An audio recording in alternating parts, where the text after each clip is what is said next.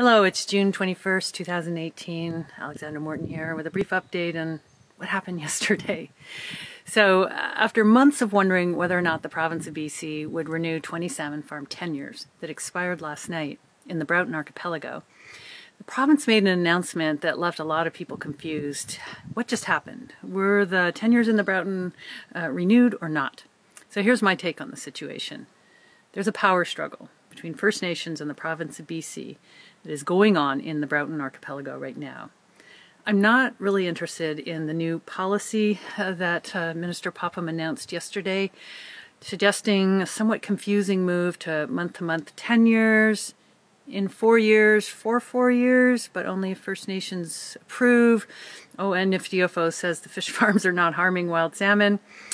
Uh, really, all of this is too vague to unpack and interpret. But what we do know is that the battle to protect wild salmon in the Broughton Archipelago is not over. Four nations have been in government to government talks with the province of BC since January about what to do about the 20 salmon farm tenures that expired last night.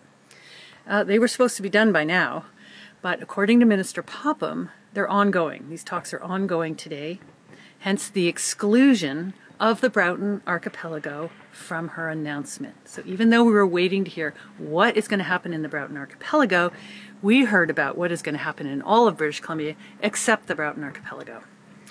The Dzawadinuk from Kingcome walked away from these provincial talks because they felt at a certain point that it was more likely to protect their wild fish if they went to court versus continuing the talks.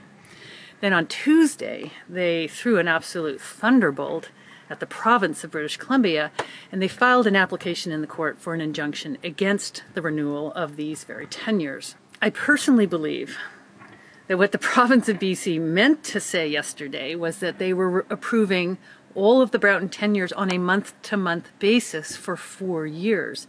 But because the Dzawadinuk applied for this injunction, and because thousands of people were waiting for the province to say something, I think the province backed away from talking about the Broughton and applied all of this kind of hurriedly to the entire province of British Columbia. And I think this is why it doesn't really make sense. But Minister Lana Popham did say some really interesting things.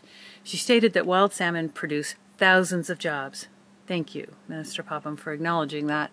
Then she said the federal Minister of Fisheries, Dominic LeBlanc, has been doing a poor job of protecting wild salmon, and she's talking to him about this and that salmon farms are a unique and serious impact on wild fish. Again, thank you, Minister Popham.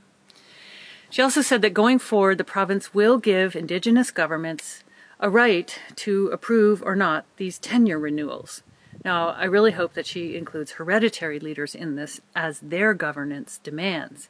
But this leads to where we are now. If the province truly plans to give indigenous governments say over fish farm tenure renewals, and given the critical state of the wild salmon in the Broughton Archipelago right now, if they refuse to respect this right today, I think they're going to find themselves in a very serious situation where their foot dragging could result in extinguishing what is left of the wild salmon in the Broughton Archipelago. Minister Popham recalls talking to an elder last fall in the big house in Alert Bay, telling her that uh, she didn't have any more wild fish to feed to her family. And Popham said that her government really hadn't thought about this before and hadn't looked at the situation through that lens previously, but that she is now. So I'm grateful to her, I'm grateful to the Dzawadinuk for their bold and uncompromising stance, and I'm grateful for the Quikwasutunuk, the Mamalilakula, the Namgis, for remaining at the table. So there is a diverse effort now among these four nations to do the best that they can for the wild salmon that are lucky enough to be spawning in their territories. Meanwhile, Marine Harvest is taking myself and Ernest Alfred and Carissa Glendale to court on Monday to try to stop us from even looking in their farms because they don't want us to look at their fish. So it's a cliffhanger. Stay tuned. I'll be back.